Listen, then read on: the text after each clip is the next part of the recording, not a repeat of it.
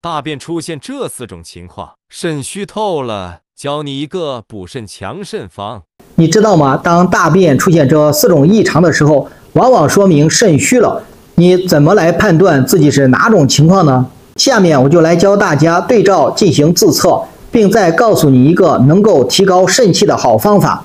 首先，第一种大便阳实力，多是脾肾阴虚。这类人呢，大便经常出现干燥的情况，通常是那种一粒一粒的，像羊屎疙瘩一样。晚上一睡觉就容易失眠盗汗，这多半是体内阴液不足的表现。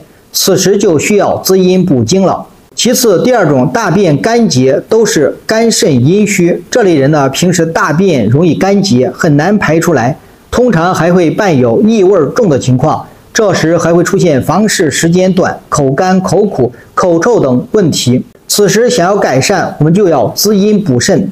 再说第三种，大便虚软不成形，容易粘马桶，都是脾肾阳虚。这类人呢，每次大便的时候几乎都会出现粘马桶、冲不干净的情况。通常四肢也比较困重，总是感觉乏力气短，尤其是手脚温度比较低，在房事方面呢，也提不起来多高的兴致。这种呢就要补阳散寒。最后呢，第四种大便先干后细，多半是肾气虚、湿热重。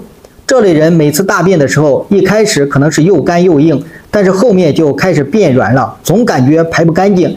有的时候还会觉得排便无力，平时四肢也容易发酸，腰膝酸软，嘴里总是黏腻不爽，小便发黄。这种呢就要补肾益气了。你是哪种呢？